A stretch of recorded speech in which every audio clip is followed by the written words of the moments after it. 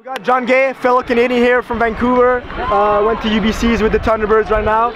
You won the 3K steeple yesterday in like pouring rain. How did that go? It was, yeah, it was a wet one, that's for sure. But uh, I wanted to go out and just run it hard from the gun. From the and gun. it wasn't quite as quick as I had hoped for, but I think the effort was right for, for the night, and especially with the rain. It's uh, nice to get another win and keep the momentum rolling. So it was 822? yeah, 822 high. 822 in the so- pouring rain, that's solid. And today double back with a 1500 meter.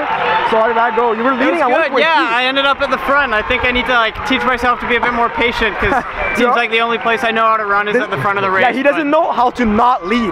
Like he's always leading, it's- always in the it's true. front. It's a, it's a big problem. It's becoming a bigger problem. But uh, He's too much yeah, of a doing, sender, Doing you know? the 15 always reminds me of just how quick those milers are and how smart they are. You milers, like mm. you're always thinking, and I feel like a dumb steeplechaser like me, I hit the front and I think, okay, I'm just gonna make a long run for home, and guys have a couple more gears that they can shift through, and I'm already in high gear, and Right, right. so good racing experience. Nice to double back, small PB as well. So Small PB, what did you end up with? 340.7, I think. 0.7, so like sub that. 340 coming yeah, soon? sub 340 coming soon, hopefully. Let's if I can get my head screwed on straight, I hope it's there. And you're pacing at the Harry Jerome or you're Yeah, racing? the 5K at the Harry Jerome, and then. Nationals a week and a half later. So Let's go, all right. yeah, it should be good. Good job, John. Hey, right, thanks, thanks, guys.